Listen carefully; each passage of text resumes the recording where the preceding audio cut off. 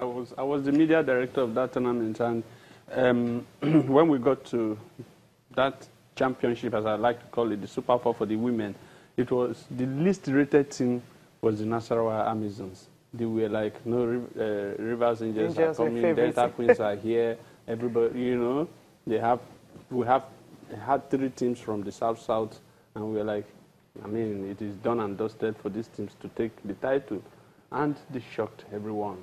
Yeah. I mean, the final was very, very instructive because, I mean, we had players, you know, uh, Jegede, the captain of Yeah, Delta Jegede, Delta Queens, Queens, yes. fantastic player. You were there, you watched some of the games. It was an amazing tournament for them. And they said they came to prove a point that if they had lost in the Aiteo Cup, they are coming to show that they are not that bad. And I think that what they should be, what they should start doing is look.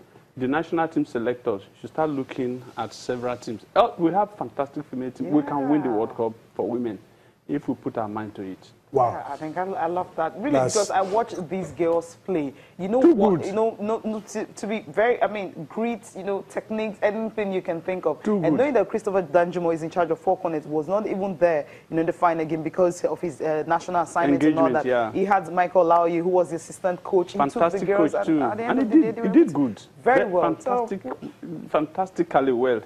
you know, because I, I watched every game, every, Every game, as game. in every game. I watched every game, and I was like, Is it patriotism speaking, or I mean, because you said these girls can or Cup, sentiments? Or sentiments. No.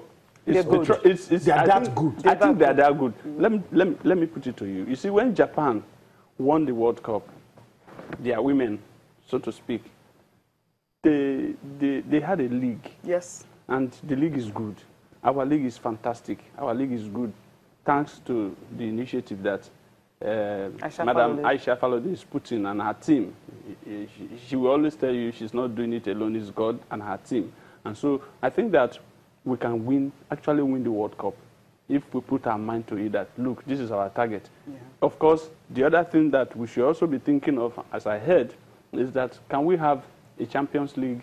I mean, a, Yeah. a women's league in Africa Okay. where all the teams can play. It's Because, it's, it's, for instance, you win the uh, Nigerian league, you don't play any league, unlike in the men's. So Yeah. the women should also be given the latitude to right. express themselves. Let's talk about men now and quickly talk about, uh, before we, um, you know, talk about um, the Aiteo Cup, you probably overheard us talking, but let's quickly take, talk about football management now. Uh, um, I mean, the revelation hit us that it's not going to be, he has parted ways uh, with Enyimba. Some are already rumoring that he's in talks with uh, uh, Rangers, Rangers. international. But yeah. I, I think it was an amicable, uh, the parted ways are amicable. Yes, as you see, um, me, I, I like the way coaches are doing things. You see, at a point, uh, Austin Cerezo Guavon got to Sunshine Stars, and he saw the working conditions. We good? have we have agreed on this, and you are doing that. So I'm not going to work with you. So he took a walk, and another person came and took over.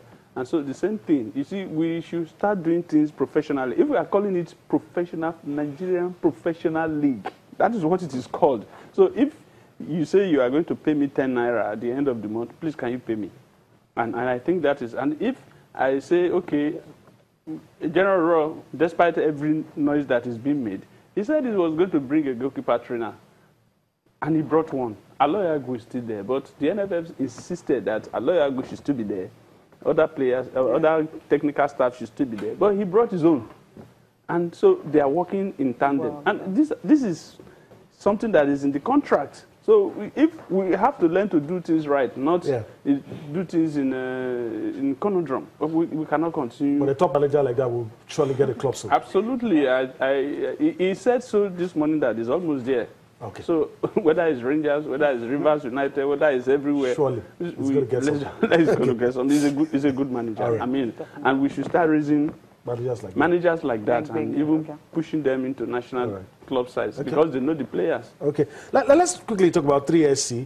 Um, they, they are down there now in, in the Nigerian National League, but we hear no longer is Fatai Amoo, not in the saddle, but Edith Agoye, former player, uh, was it the all-conquering side of 3SC um, that won the last time, I think the last time they won the league was a player there. Now he's the man in the saddle, and uh, he has the responsibility of bringing the club back to the top flight. Yeah, uh, Edith Agoye, and I know, fantastic midfielder in those days. I think he has what it takes. He's been almost like all his life in shooting stars. Around, in and around, around. in and around. He goes, he comes back, and now he's a member of the coaching staff like Lati Yusuf and co. And you know, Jibadi Babalade. If you recall those good Yeah. old days of shooting stars, this, this, the, this is how it is done. Zinedine Zidane is not in Real Madrid by accident. I mean, he's doing it because he's been part of the squad. Part he the knows system, the yeah. players, he knows the system, he knows the workings of even the management. And I think uh, Edith is good to go. However, he needs the support of those who are financing the club because part of the problem that the club has, I don't think is just about that the club didn't have good players. I think part of the problem they have is, you know, doing the players well. Welfare is key. If you are, if the welfare is, is, is going well and, and, and, the players are doing good, the players will do good if your welfare is good. I think that is the issue. Okay. Um, let, let, let me put you into this, into the discussion. You weren't here when we talked about it, but let's, the review. Uh, we talked about the Aiteo Cup. Governor of Akwa Ibom uh, said that that prize money uh, is, is not enough. That, you know, there should be an upward uh, review. I think a lot of people agree uh, with that as well. That um, sometimes when you quantify what has been spent and what you get, it, it might not just tally. You, you see, I keep saying that we are a developing country. Yes. And so, as a developing country, we keep getting it right. Keep, but I, I, yes, by the day, because see, um, how many companies are ready to even bring out money Something now? at all. At all to even put. We have the big companies. We are hearing billions and billions of, of naira and dollars being taken by our public officials. How many of these public institutions are ready to say, okay, um, I, I don't want to mention them so that I will not, you know, bring money to say we are sponsoring football because this is a youth thing. You understand? You are developing the youth and you are taking them out of, out of, out of uh, craze. You are taking them out of crime. You are taking them out of all manner of, you know, indices that are negative.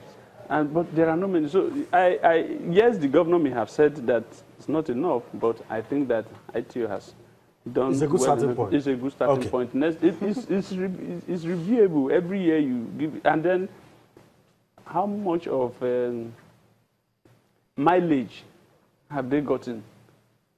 You know, in terms of media Okay. and right. all that. And All so I think that we should clap for them instead of saying no. They have not done Uh, well. okay. Well, okay. he just the talks, yeah, the talks of will how continue. big the competition should be, and Yeah. it should get It can only get bigger. It can yeah. only get bigger. That's Like is there a starting point?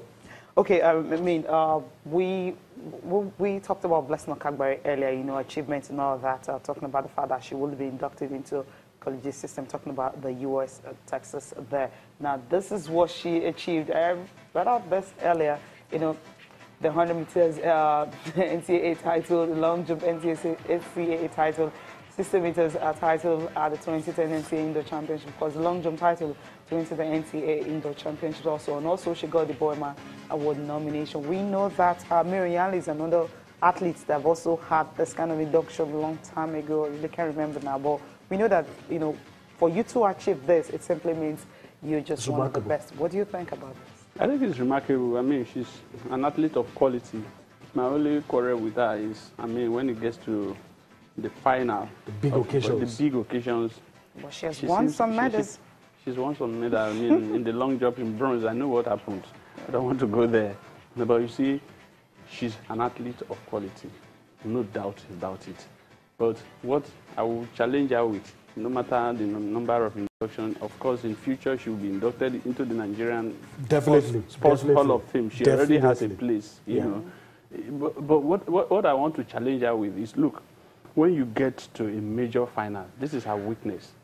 Don't start to develop Cold feet. cold feet. Did they say, what is the tummy again? Don't start developing.